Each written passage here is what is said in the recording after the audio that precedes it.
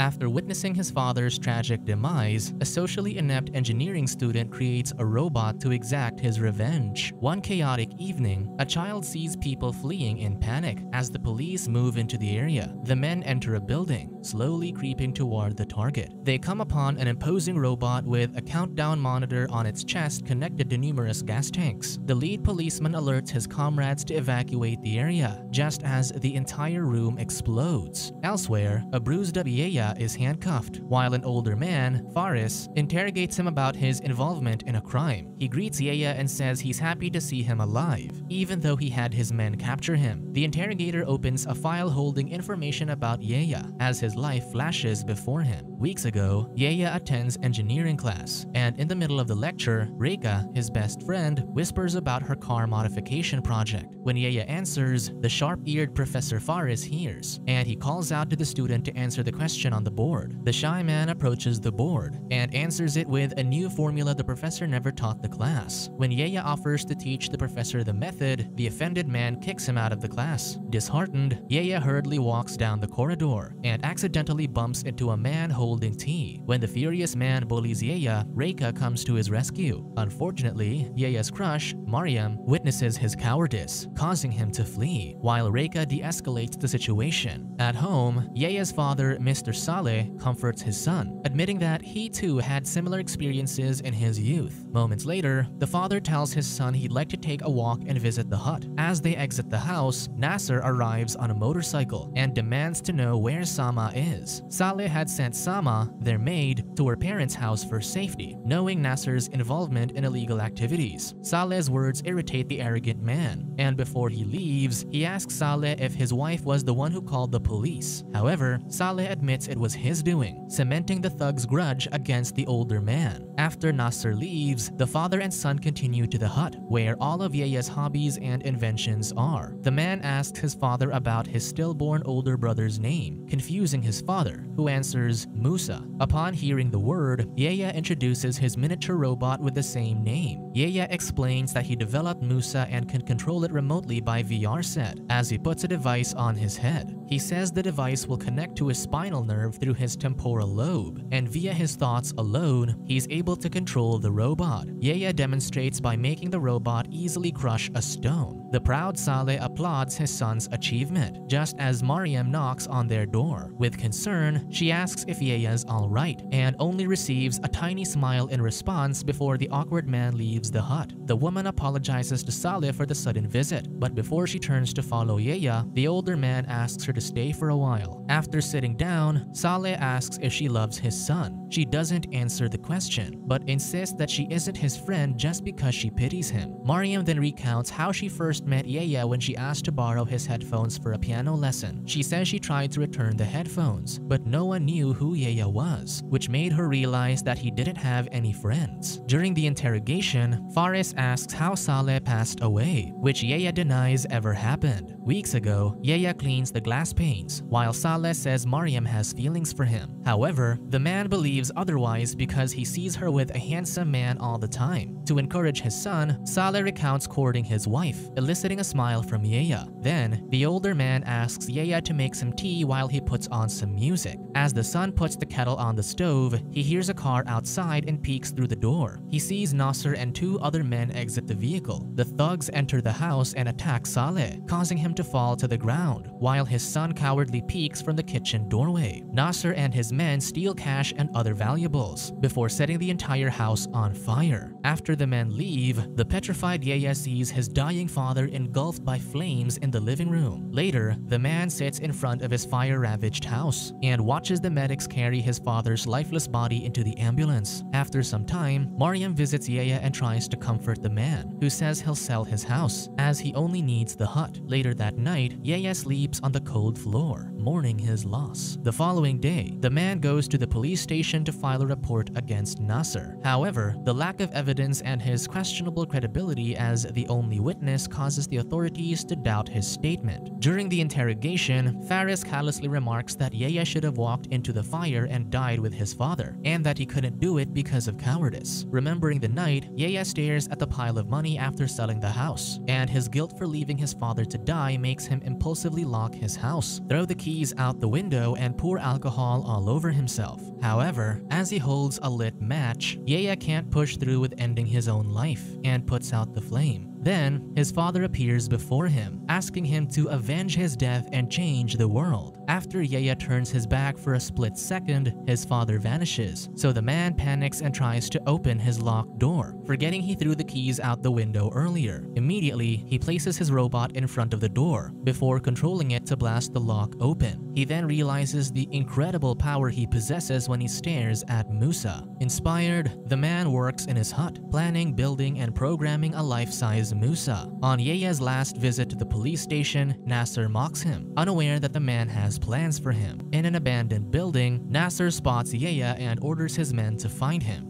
Yehia hides in one of the rooms, while the thugs search the area. Yehia puts on his VR headset and activates Musa, who rolls out from under his car that's parked outside the building. One by one, the robot takes out Nasser's cronies with ease. Outside, Nasser hears the loud sounds coming from inside, before finally facing the imposing robot, twice his height. Seeing the evil man run away in fear through the VR set, Yehia can't help but smile, before throwing a wooden beam to take down the fleeing man. Musa places Nasser in the car and seals the door shut with the intense flame in its hand. The robot then flips the car over, while tearing the gas tank, blowing up the vehicle. As the robot turns, Yehia sees an innocent man filming the riveting events on his phone. He lets the man go despite the possibility of exposing himself to the authorities, and the man immediately uploads the video on the internet. While the video spreads far and wide, Yehia acknowledges his revenge for his father's death with a smile before settling in bed. Elsewhere, a doctor examines Yusuf,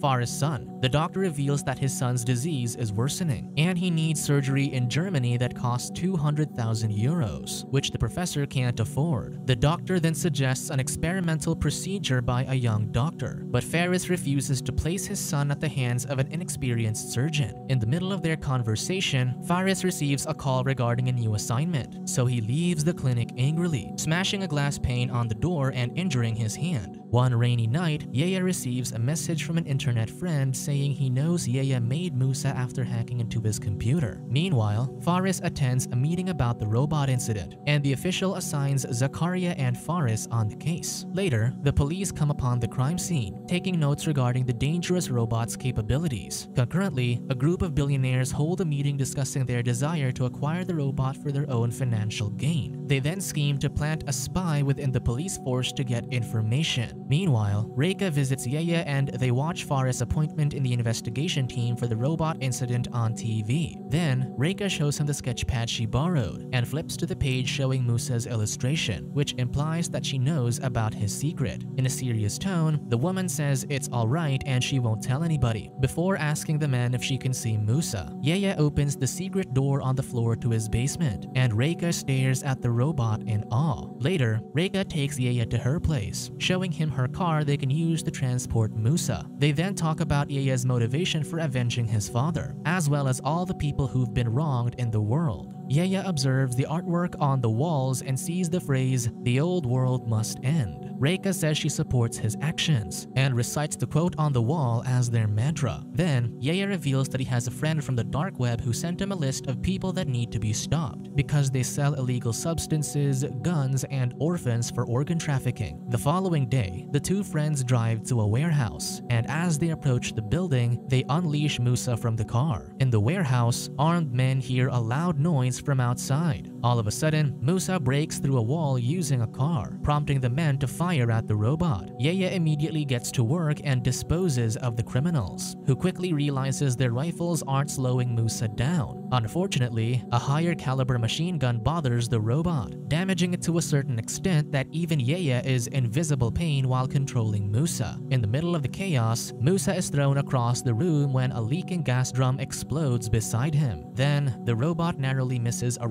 rocket-propelled grenade. Despite the pain and the damage to the robot, Yehia pushes himself to control Musa. After willing the robot to get back on its feet, Yehia takes the thugs down one by one, before finally rescuing the kidnapped children and escaping the area before the authorities arrive. Meanwhile, the police receive a phone call about Musa's latest feat and immediately head to the warehouse to investigate, where they find 20 criminals hanging from the ceiling. Faris finds another clue that Musa is remotely controlled, and the controller has to be near the crime scene for it to work. Later, Reika takes the VR set and asks Yehia how he controls Musa. In response, he takes a lighter and lights the flame near her hand, and she reacts quickly. He explains that her spinal reflexes caused her to move her hand away from the flame, and he likens this response to how Musa's controls work. Whatever action she thinks of is then transmitted to the robot, who executes it. Days pass, and the vigilante heroes fight crimes all over the city, from rounding up thugs to rescuing children from burning buildings. They leave a lasting impression in people's hearts, and their increasing popularity prompts people to put up posters of support for Musa. Meanwhile, Faris finally invents a counter device for the vigilante robot. One rainy day, Reika visits Yehia with Mariam. They finally reveal their secret and show her Musa. However, Mariam argues that what they're doing could cost them their lives and discourages them from continuing. Now that someone else who doesn't support their cause knows their secret, Yehia and Reika must hide everything and move discreetly. Meanwhile, the authorities get a lead from a video showing a car that seems to be hollow, which they think might be a vehicle used to carry Musa. They trace the car's license plate to Saleh, who they connect to Nasser. The police then search Yehia's hut but find nothing suspicious. While Zakaria interrogates Yehia, Faris leaves the room and follows Hamdi, Zakaria's assistant. He asks the assistant to show him the records room, and upon entering, asks Hamdi if he's working with somebody else. The assistant denies the accusation, but when the professor is about to inform Zakaria, Hamdi finally and admits he works for Samir, Mariam's father and the billionaire who adamantly wishes to procure Musa. After learning this information, Faris promises not to tell anyone about Hamdi's transgressions and leaves. That night, Faris rushes his son to the hospital after an episode, but still refuses the experimental treatment the doctor offered. After the doctor leaves, Faris assures Yusuf he'll be alright. In response, his son says that he isn't worried because Musa will save him. After hearing his son's words, Faris devises a plan. Faris meets up with Samir and strikes a deal with the billionaire. He'll lead them to Musa in exchange for the money for his son's treatment. Sensing his desperation, Samir accepts his proposal, and they shake hands. The professor immediately devises a plan for a group of men to hijack a train. At the same time, a journalist will take a video of the events and post it on the internet to catch Musa's controller's attention. Eventually, Yehia sees the news about the hijacking, and the two vigilantes drive toward the train. Another group kidnaps Mariam because they're aware that she's Yehia's weakness. While watching the news, the professor calls his men and orders them to detach the train car. Moments later, Musa jumps into the hijacked carriage, unaware the men are waiting. Using the jamming device, they interrupt Musa's signal to Yehia's headset, cutting off the controller and allowing the criminals to start dismantling the robot with a chainsaw. Fortunately, a passenger notices this and snatches the jamming device, enabling Yehia to connect with Musa and beat up the criminals. Seeing that the train car is almost fully detached, Musa uses its body as a bridge for people to use to get to the other car. After all the passengers are safe, Musa's body is severely damaged and thrown to the side of the railroad. Later that night, the two vigilantes find a DVD in the hut and play it. They watch the video and learn Mariam's been kidnapped. Reika assumes it's a trap, but Yehia fears for the woman's safety and wishes to save her. He heads to Samir's mansion and informs him that Faris has his daughter. The older man calls the professor and angrily says that abducting his daughter wasn't part of the plan. After sending Faris' full name to his friend from the dark web, Yehia plans to destroy Musa to emphasize his importance as the only person with knowledge of the robot's blueprint, hopefully securing Mariam's safety. He then sends out a video to the world of himself explaining his life and introducing himself as Musa's creator, before revealing where the robot is. He says his goodbyes to his invention before heading to Faris' hideout to surrender himself. Minutes later, Musa explodes after the police enter the building, and Faris receives the news through a phone call. The professor mocks Yehia that he has to write a blueprint for Mariam's freedom. However, the man also warns him that Samir won't let him off easy if he doesn't let the billionaire's daughter go. Realizing Yehia has a point, Faris orders his men to set the woman free. After hearing her voice through Reika's phone, assuring she's safe, Yehia starts writing the blueprint on the wall. He covers his nose and mouth with his shirt while secretly cracking open an ampule. Meanwhile, Rika closes all the car windows as a vehicle spraying a thick white smoke passes. After the guards cough and pass out from the smoke, a group of men inside a van immediately plant explosives all over the building. The group's leader is Yehia's mysterious friend from the dark web. Inside the building, Faris, who thought the smoke was just routine bug spraying, is unaware of what's happening. Yehia continues writing down the formula when the professor notices that something's amiss, so he escapes. Yehia immediately erases the writings on the wall, but unfortunately can't leave the building as Faris' men are blocking the exit. So he calls Rika and tells her to drive away, but not before confessing his true feelings for Mariam, something he could never do before. Eventually, the planted explosives detonate, and walls cave in on Yehia. Meanwhile, Faris finds himself stuck at a police checkpoint and realizes he'll get caught either way, and resigns to his fate. He calls the doctor and finally agrees to the experimental procedure from the young surgeon. He defeatedly caresses his son's head as he watches Zakaria walk towards his car. Moments later, Yehia's friend enters the building with a cart and finds Yehia alive under the rubble. He states that people like them don't die easily, before helping his friend out from under the debris and out of the building. Meanwhile, a mysterious man scours the crime scene and finds Musa's intact mainframe on the ground. Subscribe to watch more videos like this, turn on notifications and leave a like to help the channel out. Thank you for watching.